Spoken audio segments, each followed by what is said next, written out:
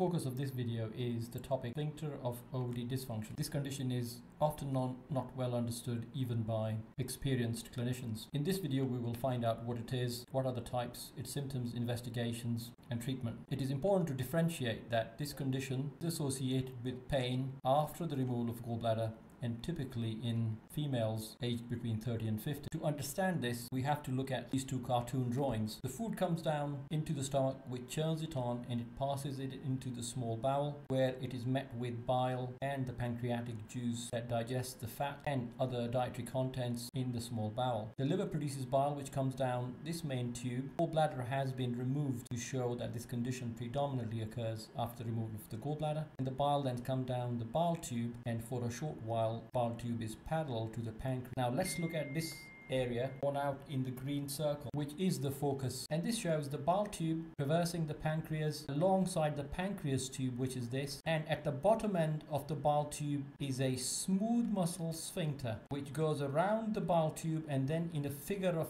eight, it goes around the pancreas tube. It is this smooth muscle which is called the sphincter of Oddi. And it is thought that this, this the dysfunction of this sphincter around the bile tube the main cause of sphincter of Oddi dysfunction Other component around the pancreas tube shown over here causes pancreatic related symptoms in some patients. There really are two types of sphincter of Oddi dysfunction. One is the biliary type due to problems with this area of the sphincter around the bile tube and the less common and less well understood pancreatic sphincter of Oddi dysfunction due to the sphincter around the pancreas tube. Be able to diagnose this condition, the symptoms have been very precisely defined, specifically pain, and it has to be biliary type pain which which means pain below the right side rib cage that is greater than 30 minutes and may last up to a few hours. And this occurs on more than one occasion that is spread apart from each other that is severe enough to stop doing what the patients are doing and sometimes may these patients may end up in the hospital that it occurs at different time intervals as I've explained and this is not related to bowel movements and it is not related to posture or to acid suppression in the stomach or the gullet. And the reason for such a precise definition of pain is to differentiate it from all other causes of pain, such as from the gullet, the stomach, the small bowel, gallbladder stones in the bile tube, biliary crystals in the bile tube, irritable bowel, and a host of other conditions. Issue with the pancreatic sphincter of Oddi dysfunction causes recurrent attacks of acute pancreatitis. What investigations are required to diagnose this? There are the basic investigations, then there are others to rule out other conditions, and then there are specialist investigations specifically for the sphincter of Oddi dysfunction. Basic ones are the liver function tests. These measure the level of bilirubin in the blood and the liver enzymes indicative of holdup of bile, as well as an ultrasound scan assessing the bile tube size in particular, because if there is a holdup to the flow of bile, size of the bile tube becomes bigger. Other investigations that are frequently performed are endoscopic ultrasound, which consists consists of an endoscope with an ultrasound scanner attached at the tip and a very precise ultrasound assessment is carried out of the whole of the biliary tract as well as of the pancreas. An MRI or an MRCP, an endoscopy may be performed both upper and lower but specifically in the stomach and the gullet assessing other causes of pain and a CT scan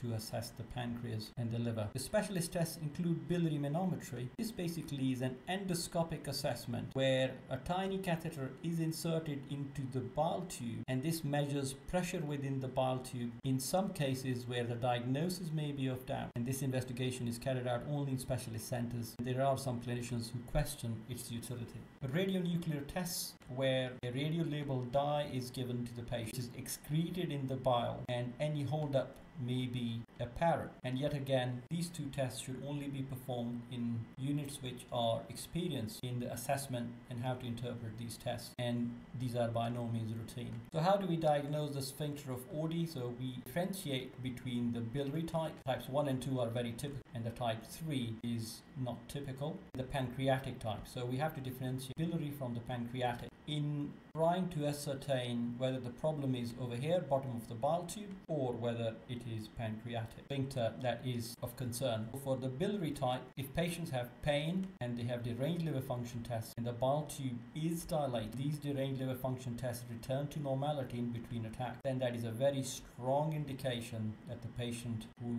has had gallbladder removed perhaps suffers sphincter of Oddi dysfunction. However, if there is only pain but none of the other features, bile duct is not dilated and the liver function tests are normal, then this is called the type 3 and this is not your typical sphincter of Oddi dysfunction. The treatment of these two subclasses is very different indeed. Pancreatic type diagnose this. Very extensive investigations are required to rule out all other causes of pancreatitis. I've done a separate video on that and I'll link it in the description. And it's only a diagnosis of exclusion. You have the biliary type, which are fairly typical, and the pancreatic type, which is less common and less well. How do we treat this? For the fairly typical sphincter of Oddi dysfunction, the prescribed treatment, which is quite effective, is putting an endoscope down through a procedure called ERCP. It is parked at the bottom end of the bile tube, and the sphincter is divided so as to make this opening bigger and allow the bile to flow out much more easily